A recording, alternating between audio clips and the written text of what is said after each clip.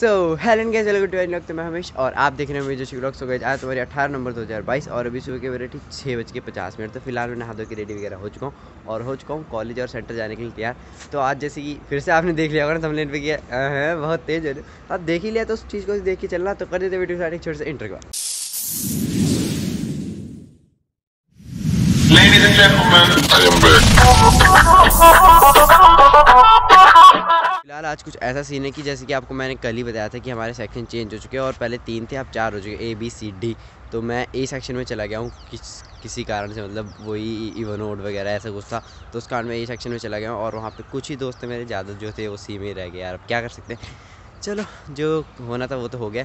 तो देखते फिर आज क्या रहता है माहौल मतलब पहले दिन है हमारी क्लास का, नई क्लास है। तो देखते फिर क्या रहेगा और चलते हैं। वैसे फ़िलहाल भी हम लोग यहाँ पे पहुँच चुके हैं बस स्टैंड पे और यहाँ पे हमारे मित्र वगैरह भी आ चुके हैं। हेलो। हेलो। तो चलते फिर देखते हैं। अभी आज फ़र्स्ट डे हमारा फ़िलहाल आज हम पहले दिन क्लास लगाने गए थे और अभी हमारी क्लास नहीं लगेगी। आज तीन दिन फ्री है हमारा। तो फ़िलहाल ये भाई हमारे दूसरे सेक्शन हो गए। कैसा लग रहा है आपको? बेकार। अभी चलते हैं। इनको ब्लड डोनेट करवाना अपना। सो गए तो यहाँ पे एंबुलेंस भी आई हुई है। चलते हैं फिर फ़र्स्ट फ्लोर पे डोनेशन है। तो वहाँ पे जाके देखेंगे कि क्या सीन है।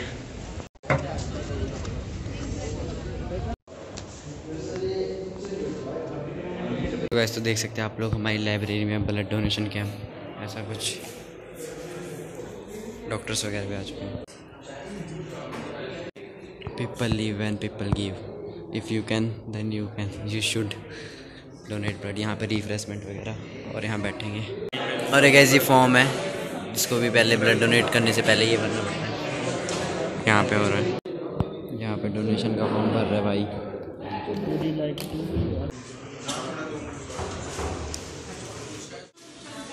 यहाँ पे भाई ब्लड डोनेट करवा रहे अपना।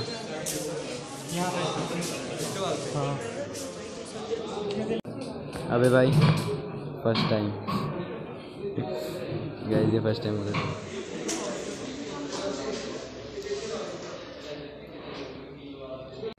सो गाइस तो भाई ने भी करवा लिया अपना। सर भाई कैसा लग रहा है? अच्छा देखा हाथ करे नहीं।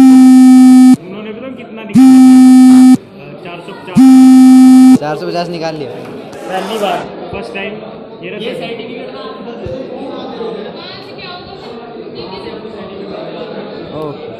ठीक है फिर तो। बढ़िया दिखाइए हाथ दिखाइए हाथ दिखाइए यहाँ से। नहीं ये तो ठीक है वहाँ से फ़िलहाल अभी हम अपनी नई क्लास में हैं जहाँ पे ये हमारे ये दो दोस्त हैं पुराने और बाकी और कोई भी हमारा मतलब दोस्त वगैरह यहाँ पे है नहीं। तो अभी हमने क्लासेस तो लगाई नहीं क्योंकि वहीं पे थे हम एन में। तो यहाँ पे भी कुछ मेजर वगैरह क्लासेस लगने लगी अभी भी क्लास लगनी थी वो भी लगी है। अब बारह बजेंगे और उस टाइम पे हमारी क्लास है। तो वो फ्री है हमारी। फिर वहाँ पे दोबारा जाएँगे और अटेंडेंस लगवा के आ जाएँगे। वहाँ पे भी अटेंडेंस लगते हैं ना एनएसएस की। तो देखते हैं फिर क्या प्रोसीजर रहता है हाँ। अभी तो यहाँ पे हमारा दूसरा दोस्त भी।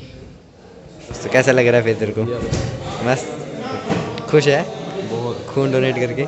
वहाँ से ले लो सर्टिफिकेट और यहाँ पे डोनर्स तो फाइनली यहाँ पे कैंप ख़त्म हो चुका है और सब कुछ जा रहे हैं सब घर के और।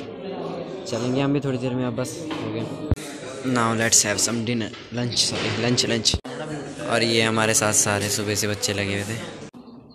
कितनी यूनिट्स होगी? सो so, यहाँ पे फ़िलहाल ये लंच हमारा करते हैं से तो फ़िलहाल अभी हम लोग फ्री हो चुके हैं और अभी बच चुके हैं शाम के पूरे तीन। बस तो हमारी छूट चुकी है और एक ही बस रह गई है उसमें चलेंगे। तो चलते कुछ यहाँ पे अपने दोस्त वगैरह भी है। तो गाइज़ ये है हमारे भाई इन्होंने आज ब्लड भी डोनेट करवाया। आपने भी करवाया?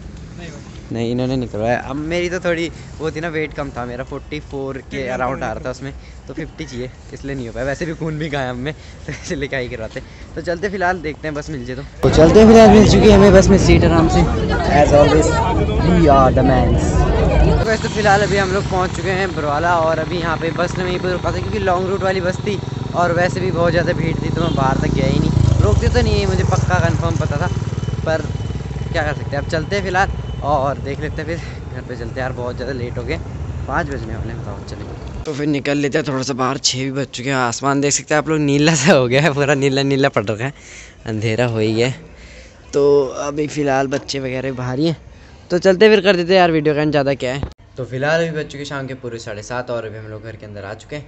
तो फ़िलहाल जल्दी आ गए थे मतलब साढ़े छः नहीं, साढ़े छः ज़्यादा हो गया मतलब सात बजे के आसपास घर के अंदर आ चुके थे।